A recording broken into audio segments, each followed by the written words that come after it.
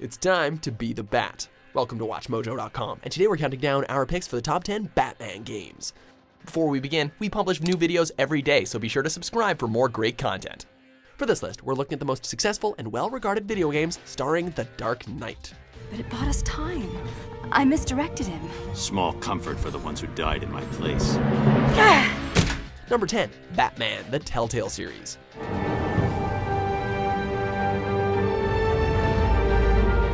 After demonstrating that exploring the emotional frailties of a character was pretty much their bread and butter in hits like The Walking Dead and The Wolf Among Us, Telltale's episodic formula seemed like the perfect match for the Caped Crusader, and for the most part, we weren't disappointed. Diving into the psyche of Bruce Wayne while also giving us some pretty badass moments as Batman, players were treated to an ongoing mystery surrounding the Wayne legacy, as well as a reimagining of some of the comic book icon's greatest villains. Oh, and we uh, totally had the option to bang Catwoman. Awesome! I was hoping for something more than that. Number 9, Batman Returns.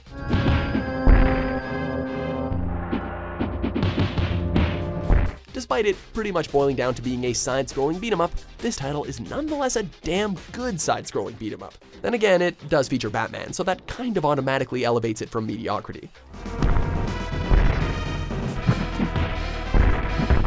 With something of a sharp difficulty spike, the variety of enemies and bosses aren't the easiest to take down, requiring players to mesh button mashing with actual strategy if they want to win the day. All in all, this golden oldie is still a fun time, worthy of the Dark Knight's name. Number 8, LEGO Batman 2 DC Superheroes. Yes, it's Gotham's very own playboy philanthropist versus some bald guy from Metropolis. Taking the fun of the original and sprinkling it with some impressive voice casting and even an intriguing narrative, our second venture into the world of LEGO Batman was nothing but a ton of fun. Aren't there people somewhere else that need your help right now?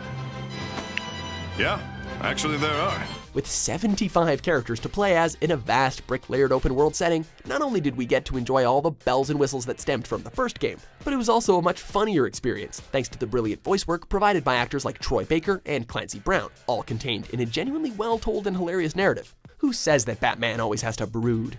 Great work, Batman. I have to admit, I couldn't have done it without a little help from my friends. Uh, a little? Number 7. Batman.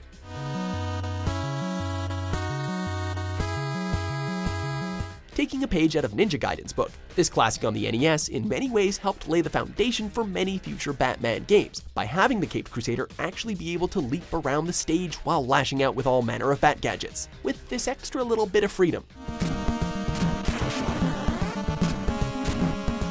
For the time, this put it far above other superhero themed games, actually retaining some of the identity that viewers had seen in Michael Keaton's much darker portrayal of the character. It also gave us a series of then unknown DC villains, in video game form anyway, such as Deadshot, Heatwave, and KG Beast. Hey, we all have to start somewhere.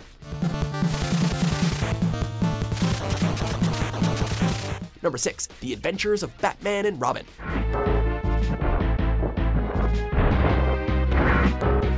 Fans of the masterpiece that was Batman the Animated Series were given quite a treat when this little number for the Super NES came out. Not only did it perfectly capture the feel of the show with its atmosphere and artistic style, but it also gave us a platformer that included both puzzles to solve and a whole slew of supervillains to chase down, as each of Batman's greatest foes had their own stage and unique set of challenges to overcome. Much like the show it was based on, the game upped the ante for the dynamic duo in the best way possible.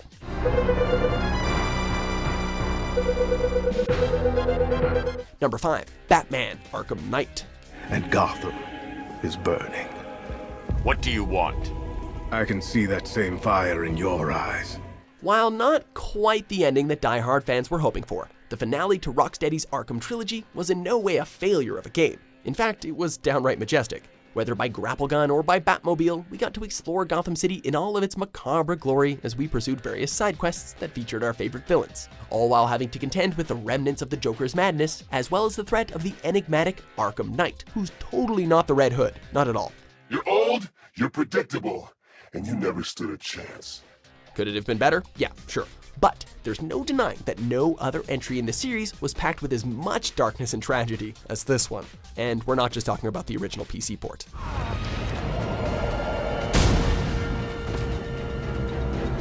Number 4, LEGO Batman the video game.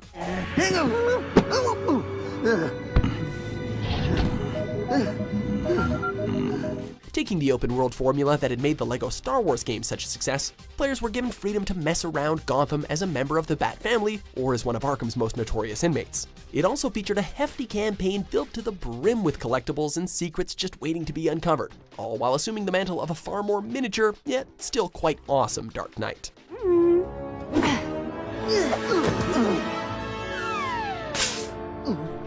Number 3, Injustice 2. You need to concentrate, Harleen. Thinking botany. Maybe English? Not at all what I meant. NetherRealm Studios' first Injustice game had already set a strong precedent for fighting games with engrossing stories, but Injustice 2 is where the studio truly brought their A game. Following up from the first game, Batman and a dictator version of Superman are forced into an uneasy alliance to stop Brainiac from abducting cities across the Earth. You are not exceptional. Merely an ordinary specimen of a primitive species. While it sounds like standard comic book fare, it's the interactions and friction between former Justice League members that gives comic book fans the DC equivalent of Marvel's Civil War that they've been waiting for. Dare we say that in the end, the story ends up being a far better Batman vs. Superman tale than Batman v Superman? Ooh, shots fired. I miss the people we were then. Me too. Number 2, Batman Arkham Asylum. Ooh, would you sneak in with your bats? Come on, tell me, tell me. Batarangs? Bat claws? Taking the Caped Crusader out of the shadows and into the madhouse, the first entry in what would become the legendary Arkham trilogy took the gaming world by storm by delivering the definitive Batman experience. Up until that time, at least. I'm really not interested in a bunch of flowers, Ivy. Combining addictive and well orchestrated combat, actual detective work, a mature narrative, as well as the return of the voice cast from the original animated series, we've never felt as beastly or as vulnerable as we did as we traversed the dark corners of Arkham with nothing but our wits, gadgets, and fists to protect us from its psychotic inhabitants. Whether for the action or the scares, we won't be forgetting our time in the asylum anytime soon. Everything you see is under my control. Number 1. Batman Arkham City. Never been one it's to. billionaire, Vicki. Millionaires are so last year. So, how do you improve upon perfection? By giving us everything we loved about Arkham Asylum, setting it in a more open world, and weaving it together with a thriving narrative that sees Batman battle against the Joker in a twisted but oh so fitting finale.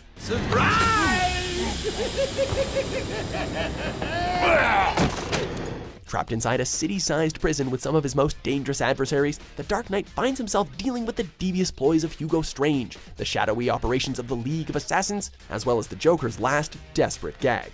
Combine this with some of modern gaming's best boss fights, plenty of meaty side quests, and hundreds of Riddler challenges to conquer, and you have, undoubtedly, Batman's finest hour.